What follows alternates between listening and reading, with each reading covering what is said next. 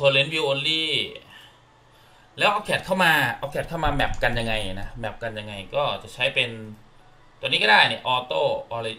origin to internal origin ก็คือเอา origin cat 00 cat มาใส่กับ internal origin หมายเลขหนึ่งอะที่เป็นลูกศรเนี่ยนะครับอะกด open หรือจะใช้วิธีการหมุนหมุนแบบเมื่อกี้ก็ได้ทำได้สองแบบเดี๋ยวทำให้ดูทั้งสองแบบ angle to to not เอ่อ น่าจะต้อง ถ้าหมุนไปด้าน ด้านขวา 15.18 องศา 15.18 องศา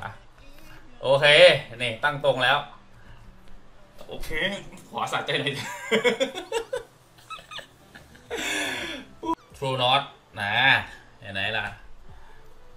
ถ้าอยากเห็นโปรเจกต์เปิดพอยต์ลองเปิดไซต์ขึ้นมาดูนะลองเอาเป็น True Not ดูสิจ้า ผมปรับให้มันปิดเป็น global เพื่ออะไรนะเพื่อที่ว่าเวลาคุณทำแบบ คุณจะได้ไม่ต้องมานั่งปิดเทเลวิวคือ default ให้เปลี่ยน global ไปก่อนนะเสร็จแล้วค่อยมาเปิดเอ่อ manual เอาโดยการ VB เมื่อกี้เปิดลิงก์ขึ้นมาแล้วใช่ไหมเปิดลิงก์ขึ้นมาแล้วใช่ไหมไปที่ work set อีกรอบหนึ่งครับอ่านี่ไงนี่ไงนี่ไงมาแล้วอ๋อ อันนี้มันชั้นสองแต่นี่นี่มาแล้วเห็นไหมนี่มาแล้วแท็ก